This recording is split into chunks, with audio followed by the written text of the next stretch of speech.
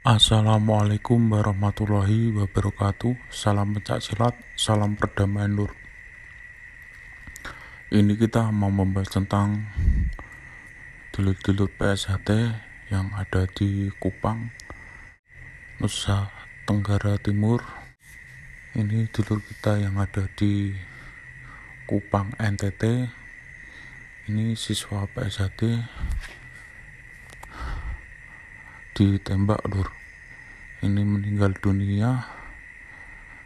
Dan ini kita bacakan kronologinya kita bacakan.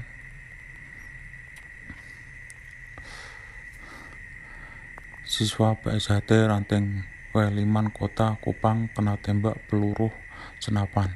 Akibat diserang Kejadiannya pada tanggal 29 malam jam 2 sebelum bubar dan ini diserang di tempat latihan. Adik kita ini su sudah meninggal tadi pagi di RS Batun Webua.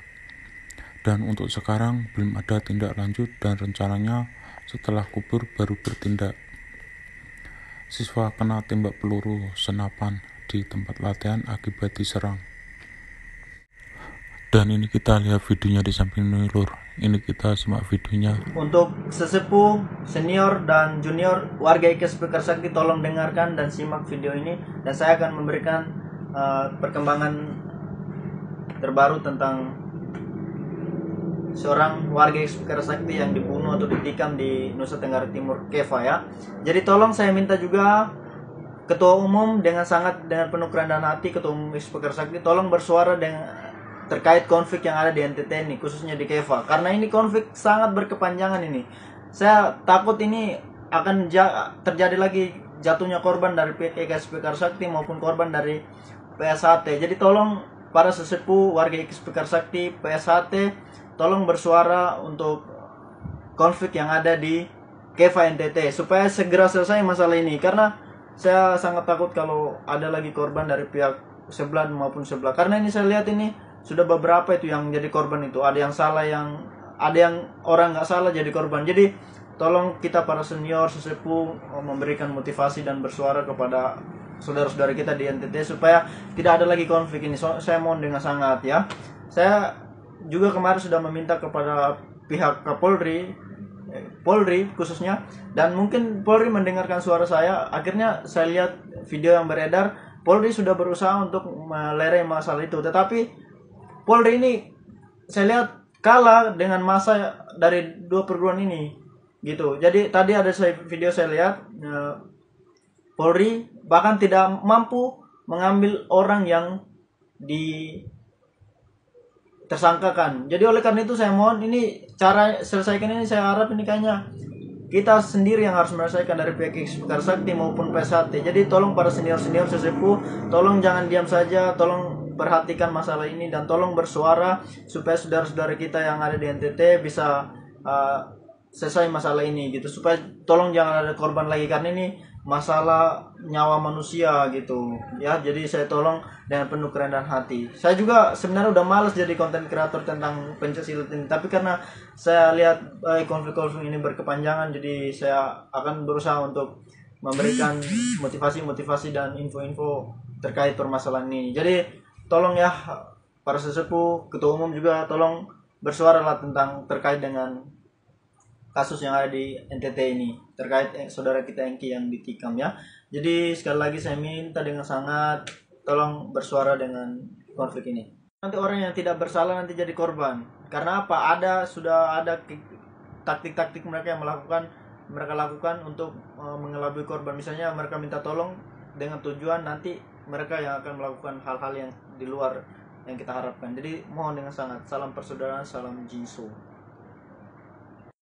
Warga IKSPI Kerasakti ditikam oleh oknum dari perguruan uh, lain di Nusa Tenggara Timur di khususnya di Betun ketika saudara ini uh, sedang menjalankan uh, mengikuti puasa dari sabuk kuning ke biru untuk adik-adiknya di NTT dan dia adalah orang dari Atambua.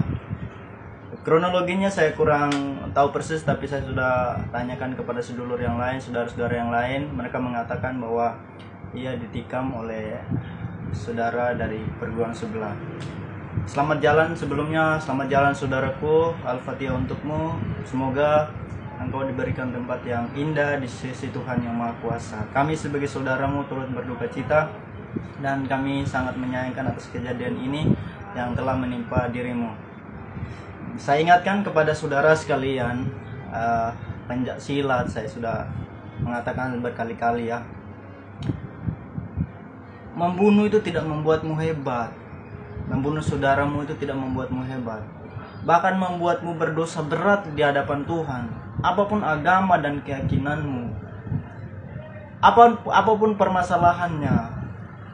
Tidak harus membunuh saudaramu. Tidak harus membunuh saudaramu hanya karena berbeda. Hanya karena berbeda perguruan, Pancasila dan lain sebagainya. Tidak harus membunuh. Kita sebagai manusia apa pun sesulit apa pun permasalahannya pasti ada jalan keluarnya kalau kita membicarakan dengan baik-baik. Ingat kamu membunuh seorang manusia yang tidak berdosa. Dosamu itu sangat berat. Kalau kamu pengikut Kristus pengikut Yesus Kristus Yesus Tuhan kita melarang di 10 perintah Allah yang keberapa itu yang mengatakan jangan membunuh ingat saudara itu berat sekali uh, dosanya itu. Dan ini peringatan juga kepada seluruh pencak silat agar dikit-dikit membunuh, dikit-dikit uh, pakai kekerasan menyelesaikan masalah. Itu bukan pendekar sejati namanya. Ayo berikan contoh-contoh kepada adik-adik kita supaya mereka tidak takut mengikuti pencak silat ini.